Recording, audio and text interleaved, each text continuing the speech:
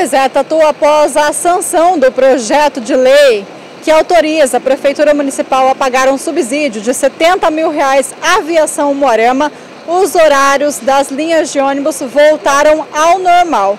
Segundo a gerência da aviação Moarama, os horários que estão ativos a partir de hoje são dos, os horários da pré-pandemia. Então, todos, todas as linhas tiveram os horários estendidos.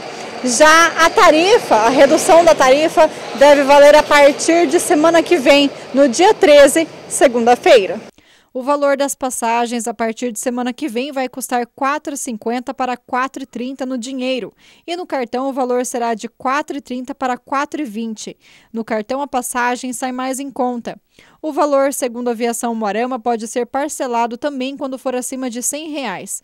Já sobre os horários, as alterações já começaram a ser notadas. A Adriana mesmo mora no Parque das Jabuticabeiras, bairro que foi alvo de muitas reclamações.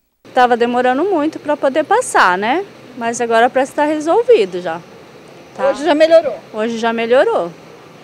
Já reduziu aí o tempo de espera? Aham, já reduziu o tempo de espera. Já. Ficou melhor? Ficou melhor. Na quarta-feira, os horários ainda não estavam disponíveis de forma impressa, mas na fanpage da empresa, os usuários podem acessar e se informar sobre as mudanças. A Aviação Morama reduziu os horários em julho devido à situação de reequilíbrio financeiro. Com a ajuda da Prefeitura, todas as linhas tiveram os horários estendidos.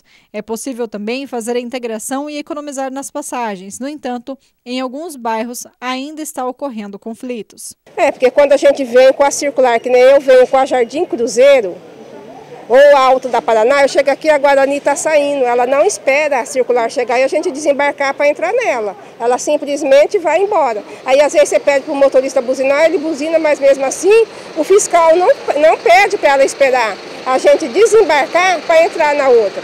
Aí a integração não funciona? Não funciona, dependendo do horário.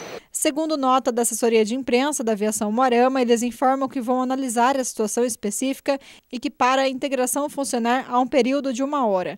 Então, nem todos os horários das linhas vão se encaixar, devido à particularidade de cada linha.